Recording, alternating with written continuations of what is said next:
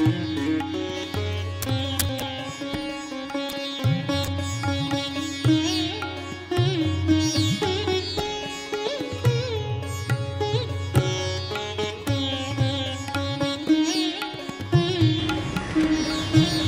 small change in the order. We have uh, one of our guests of honor who will be who has to leave. So please do give us a few minutes. May I invite Dr. Bharat Barai, also an Ellis Island Medal of Honor recipient, to please join, on, uh, join us on the stage and say a few words about Dr. Prakatilu. He's a beautiful dance Good champion. evening, friends. Good evening. First of all, congratulations to my friend Prakasam Tata. I apologize, I'll be leaving shortly because I had surgery on my left knee just three weeks ago and this is my first day out. But I said that I have to congratulate Dr. Tata.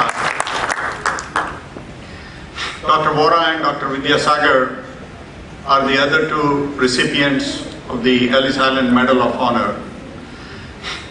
I have worked with Dr. Tata in Chicago area for many of the good things that he has done for the community here as well as people in India. When we are living at least reasonably good life here, we forget that there are many other human beings here as well as in India who can be helped and we can be the catalyst for giving them better standard of living. As has been already described, as an environmental engineer, he has done what he can in the city of Chicago, but also people in Andhra Pradesh to get better sanitation and living conditions. Besides that, he has used his own funds for providing scholarship to poor students and donated his ancestral home for a musical school. Many times people wonder, you know, there is Ellis Island Medal of Honor, and next to it, there is Ellis Island United States Museum of National Immigration. So, a few years ago, I got a call from Ellis Island Trust. And they said that, Dr. Barai, we want to come and film your story.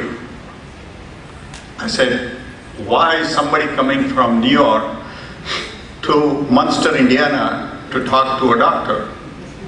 You know, there are many famous doctors in New York.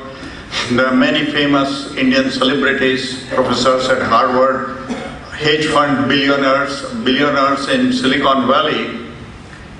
I thought this was a prank call. So I said, Are you sure? They said, Yes.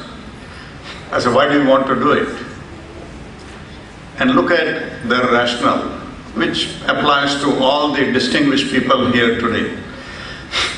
They say, Yes, we know of many successful people who are more famous than either Bharat Barai or Dr. Vidyasagar or Dr. Tata or Manu who are a lot richer than us. So why do they want to go to people like us? They say we just don't want to go to the people who are multi-billionaires or professors and holding the titles.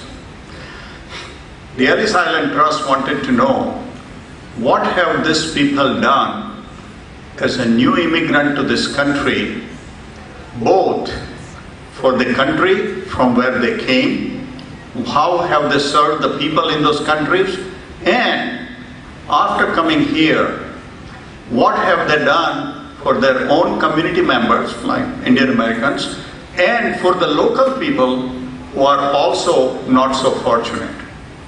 So I said, make sure, otherwise, you know, people will come to pull legs and say, why in the world are you doing this? They say, no, no, we have done our research. So I say, yeah, make sure if you want to give to all those famous people, I don't need this award. But that enlightened me how people are thinking.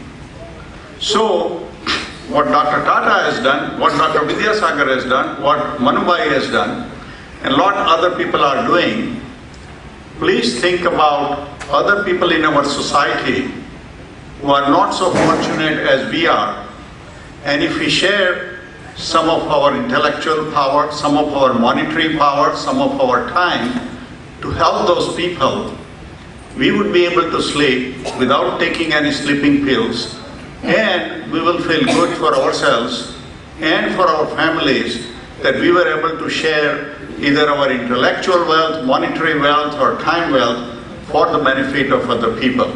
So everybody does not get recognized. I realize there are a lot of people who are doing good things in the society, but whether you get recognized or not, please continue to do good things. It will be good for our society and it will be good for us. Congratulate the rationale which applies to